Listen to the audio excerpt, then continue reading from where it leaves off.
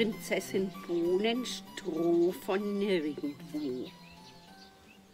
Mia liebt Märchen über alles, besonders solche, die von Prinzessinnen erzählen. Manchmal stellt sie sich sogar vor, sie wäre selbst eine Prinzessin.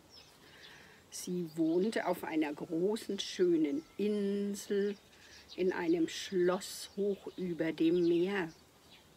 Auf dem Turm flattert eine blaue Fahne, weiße Wolken ziehen vorüber und erzählen ihr von fernen Ländern.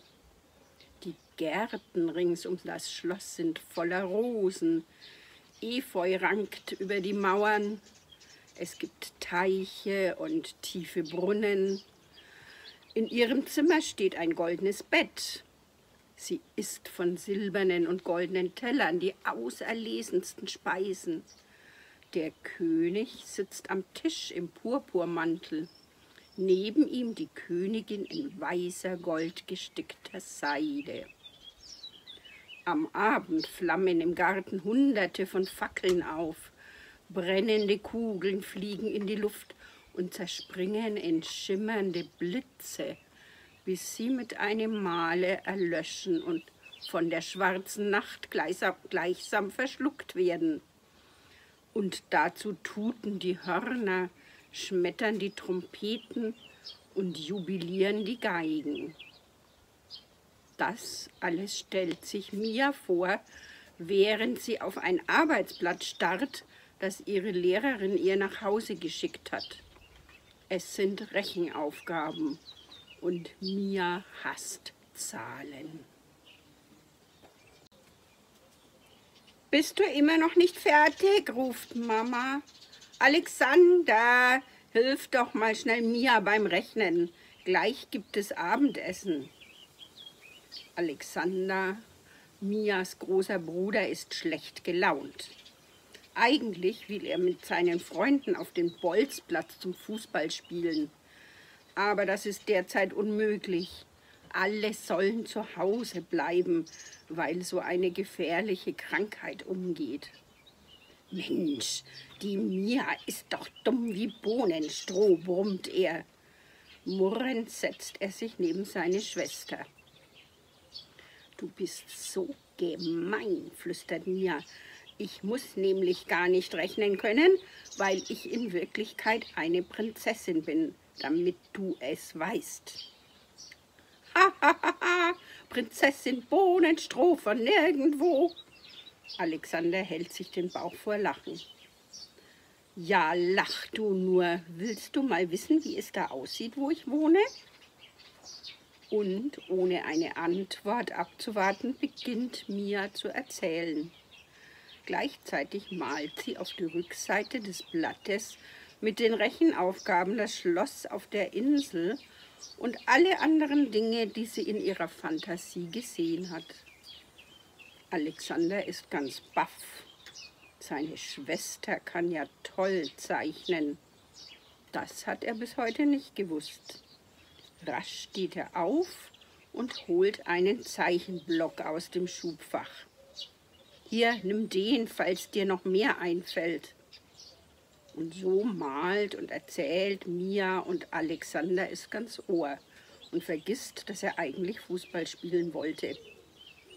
Kannst du auch mal, was ich erzähle? fragt er plötzlich. Na klar, sagt Mia, nach dem Abendessen im Kinderzimmer, aber nur, wenn es nichts mit Mord und Totschlag zu tun hat. Mama und Papa wundern sich sehr, dass ihre beiden Nervensägen nach dem Abendessen freiwillig in die Schlafanzüge schlüpfen und sich ins Zimmer verkrümeln. Also leg los, ermuntert Mia ihren Bruder. Der setzt sich mitten ins Zimmer auf den Fußboden, breitet Zeichenblätter aus und legt Malstifte bereit. Ich möchte auch in der Geschichte vorkommen, befiehlt er. Ich weiß nicht, wer du sein könntest. Die Prinzessin hat keinen Bruder, teilt Mia ihm mit. Ein Prinz will ich auch gar nicht sein. Ich will irgendetwas Heldenhaftes vollbringen. Dafür kann man ein ganz normaler Mensch sein. Und ein Schlossgespenst muss es unbedingt geben. Und schon gleiten Mias Stifte über das Papier.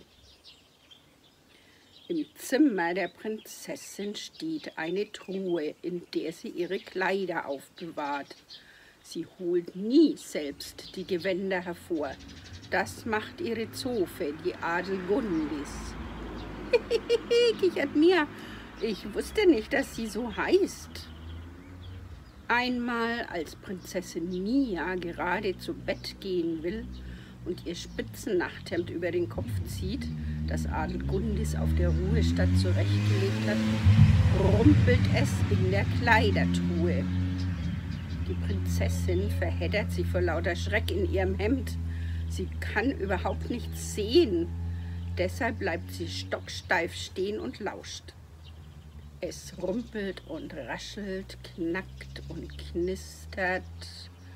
Die Prinzessin möchte schreien, aber kein Laut dringt aus ihrer Kehle. Sie hört, wie der Deckel der Truhe quietschend aufgeht. Ein kalter Luftzug fährt durch das Gemach.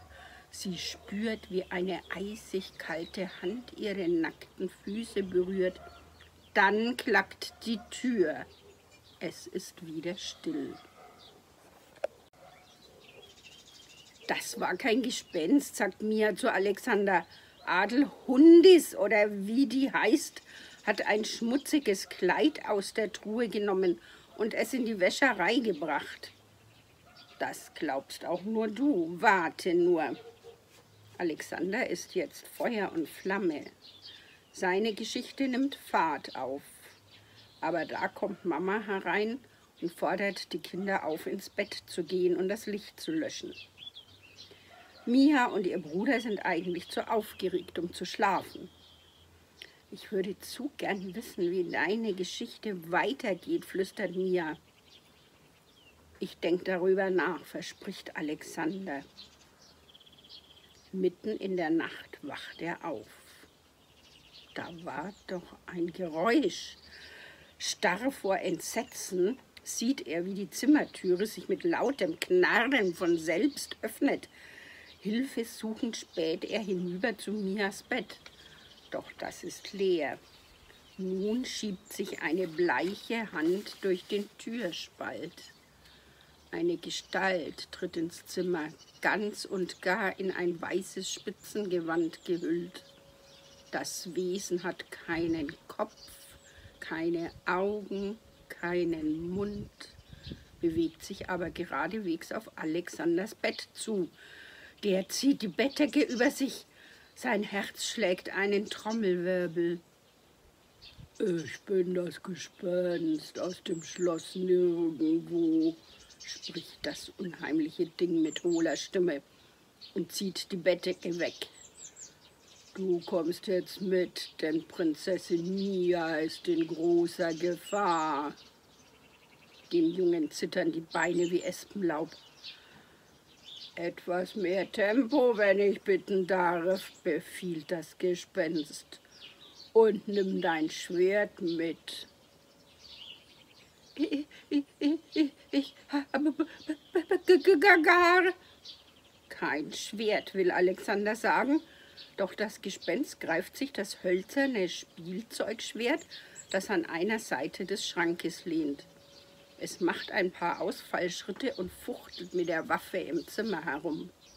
Dann schwebt es in Richtung Fenster. Dieses öffnet sich durch einen geheimnisvollen Zauber. Alexander läuft wie in Trance hinter dem Gespenst her.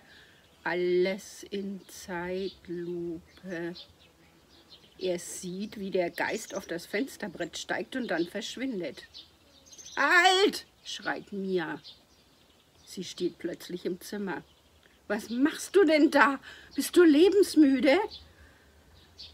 Da, da, da, da, da, war, war, war, war ein G -G Geist in unserem Z Z Zimmer. Der sah genauso aus wie die Prinzessin im Nachthemd. Und er hat gesagt, die Prinzessin ist in Gefahr. Und du, du, du warst nicht in deinem B B Bett. Blödsinn, Mia tippt sich an die Stirn. Ich war nur eben mal Pipi. Heb dir deine Geschichte für morgen auf und schließe das Fenster.